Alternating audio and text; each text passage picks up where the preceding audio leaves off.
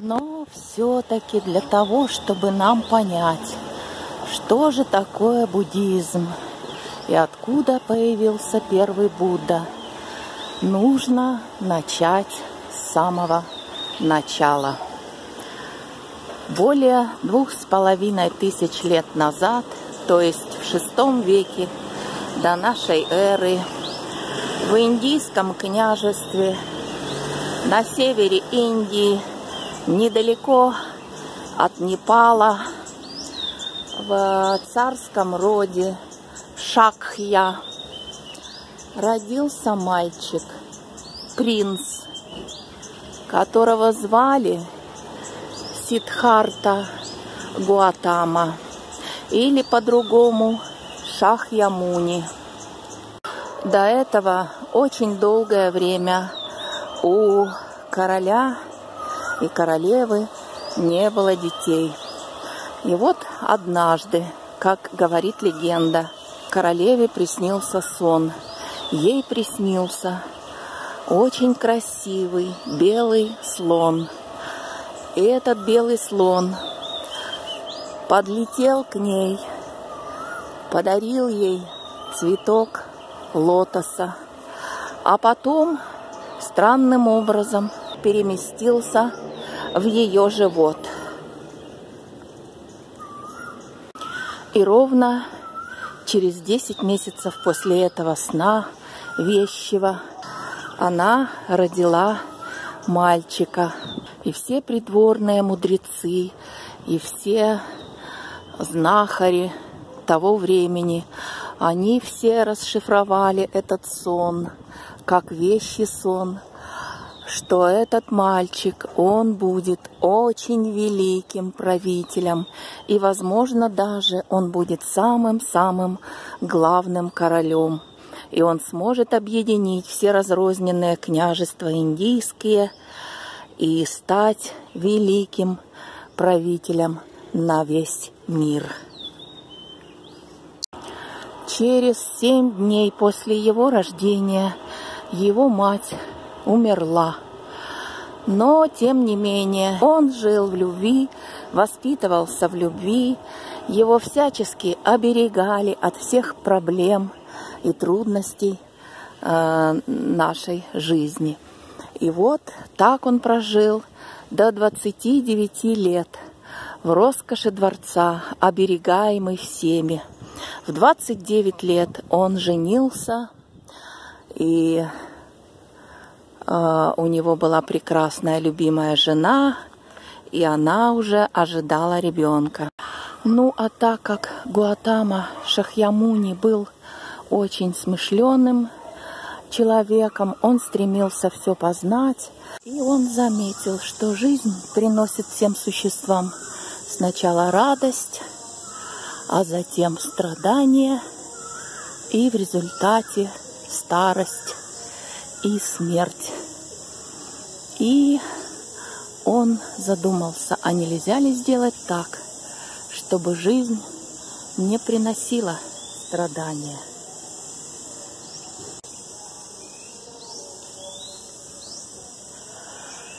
Чтобы понять, как добиться этого, он бросил семью, ушел из дворца и стал странствовать в глуши, прислушиваясь к разным учениям.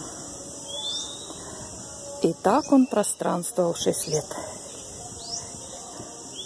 Он занялся крайним аскетизмом, едва не уморил себя голодом. И вот как-то раз он сидел уже на пороге голодной смерти. Мимо шла девушка с пирожками. Поглядев на истощенного похожего на скелет юношу, а она пожалела его и предложила ему пирожок.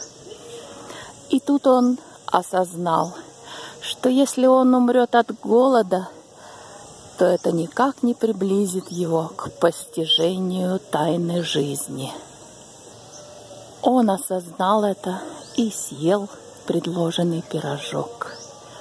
И так родилась буддийская концепция среднего пути, то есть, что никогда не нужно впадать в крайности. С точки зрения буддизма одинаково вредно и потакать плоти, и умершвлять ее. Но все-таки это не было ответом на его главный вопрос. В конечном итоге Гаутама сел медитировать под дерево, твердо вознамерившись не вставать, пока он не постигнет сути всего сущего. Он просидел, отрешившись от всего, двое суток, и к утру третьего дня ему открылась истина.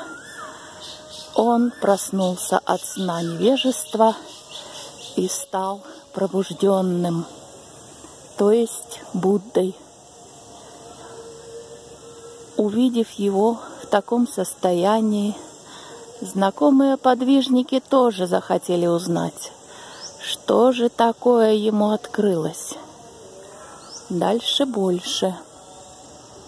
Начали собираться вокруг него ученики, и то, чему он их учил, и называется буддизм.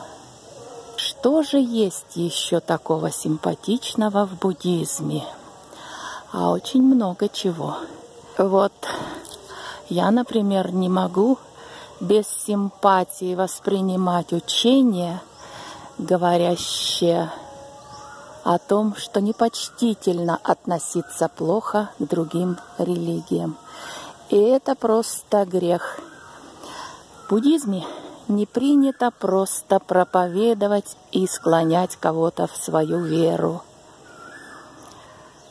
Вот теперешний Далай-лама, который официально считается главой буддистов всего мира, на вопрос одного из русских, как бы поскорее перевести всех в буддизм, ответил, а зачем? У каждого есть своя замечательная вера – и вам не нужно переходить в другую религию. Так вот, такой ответ вызывает только искреннее уважение. И еще один симпатичный факт. Буддисты никогда не вели религиозных войн. Ну и зачем? Если кто-то воспринимает истину не так, как ты, то это конкретно его дело. И здесь воевать абсолютно незачем. Правоту силой никогда не докажешь. Когда человек будет готов, он сам начнет задавать вопросы. Далее творить чудеса в буддизме считается не очень приличным. Буддисты хорошо понимают, что главное – это продвижение по пути, а вот демонстрация чудес только отвлекает и дает повод гордыне. И, наконец, Далай-лама сказал однажды – если какое-то из положений буддизма разойдется с данными науки, то я как глава всех буддистов официально готов привести буддизм в соответствие с результатами научных исследований. Да вот только в том-то и дело, что чем дальше наука приходит – со своими познаниями к полному соответствию того, чему учит буддийская религия. Так что буддизм не спорит ни с наукой, ни с другими религиями. Буддизм просто существует для тех, кто готов его воспринять. Так какие же средства используют буддисты чтобы добиться очищения сознания и достижения просветления. Самые простые.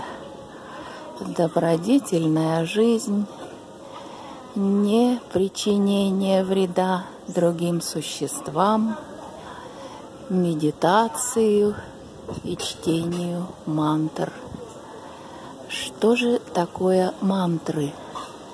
Мантра – это набор определенных слогов, которые считаются священными, то есть имеющими особую энергию.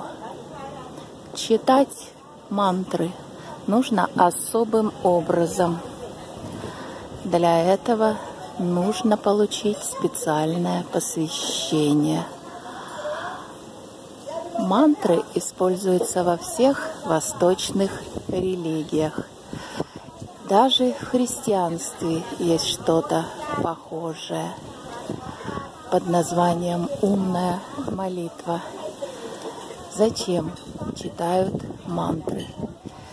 Считается, что когда человек произносит мантру, его сознание сконцентрировано только на ней. И это приостанавливает поток мирских мыслей, отвлекающих человека. Ну вот, друзья, я вам рассказала то, что сама узнала интересного о буддизме. Религия ли это? Что включает в себя буддизм и что является сутью буддийского учения. Надеюсь, что вам понравилось сегодняшнее мое повествование. И я желаю вам всем удачи, как всегда. Живите в мире, собой и с окружающим вас. Всего вам доброго. Достигайте просветления так же, как учит буддийская религия. А на этом пока-пока.